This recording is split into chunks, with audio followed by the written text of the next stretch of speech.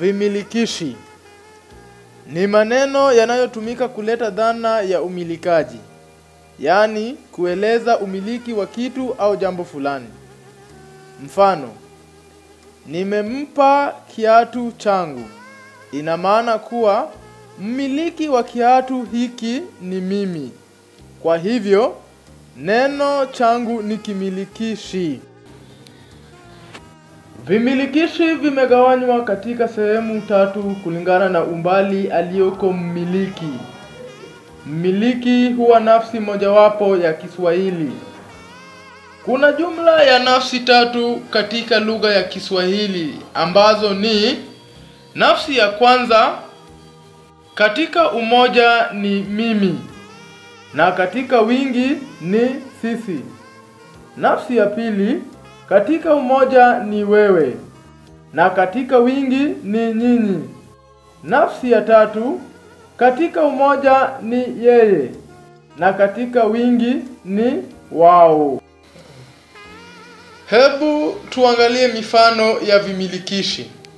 Hapa tutazingatia nafsi, masafa au umbali, kimilikishi katika umoja na katika wingi. Nafsi ya kwanza karibu. Katika umoja kimilikishi ni angu na katika wingi ni etu. Nafsi ya pili mbali kiasi. Kimilikishi katika umoja ni ako na katika wingi ni enu. Nafsi ya tatu mbali zaidi.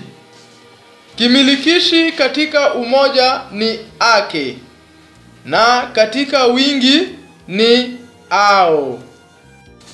Maneno angu, etu, ako, enu, ake na ao ndivyo vimilikishi.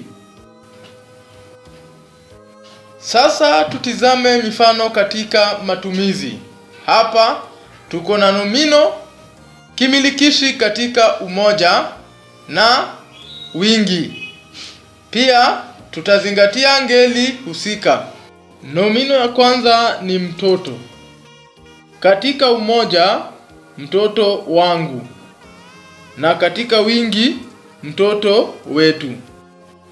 Umoja mtoto wako, katika wingi mtoto wenu. Katika umoja mtoto wake na katika wingi mtoto wao. Ngeli husika ni awa. Nomino ya pili ni kiatu.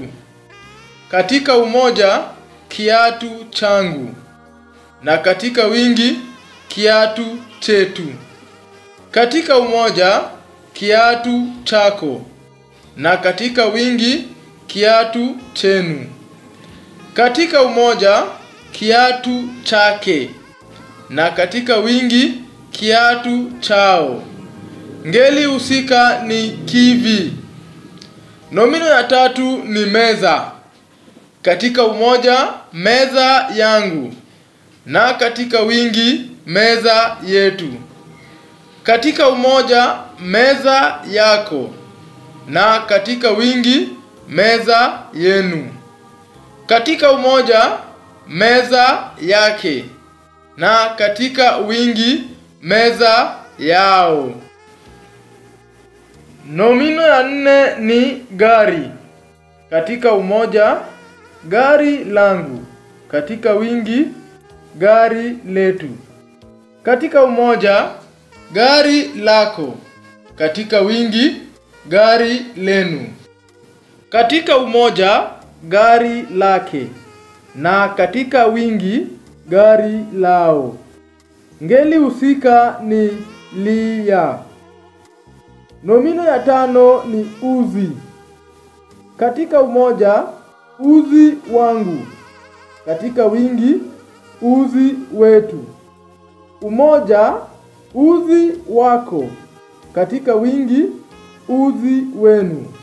Katika umoja uzi wake, katika wingi uzi wao. Ngeli usika ni uzi. Nomino ya sita ni maji. Maji yangu katika umoja, maji yetu katika wingi. Katika umoja, maji yako. Katika wingi, maji yenu. Katika umoja, maji yake. Na katika wingi, maji yao. Ngeli husika ni ya ya. Katika mifano yetu tumezingatia wingi wa vimilikishi pekee. Nomino zetu hazibadiliki. Vimilikishi huchukua viambishi ngeli tofauti tofauti kulingana na ngeli ya nomino husika kama ilivyo katika mifano. Hapa tumekuandalia wimbo kuhusu umoja na wingi wa vimilikishi. Makinika.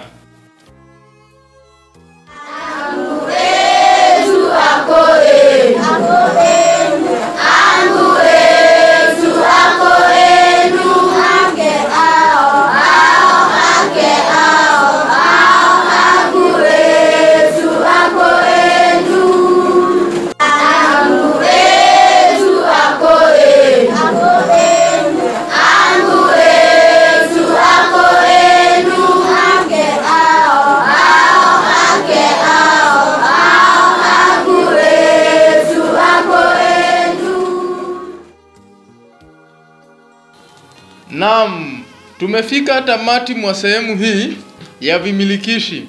Asanti kwa kuwa pamoja nami na ninatumai nimekufaa zaidi. Hapa nimekuandalia zoezi fupi kuhusu sehemu hii ninapokuaga kwa methali hii. achanikae kwenye mpini hafi njaa. Ina maana kuwa endelea kujibidisha kutazama vipindi hivi kwani mchumia juani hulia kivulini. Inshallah.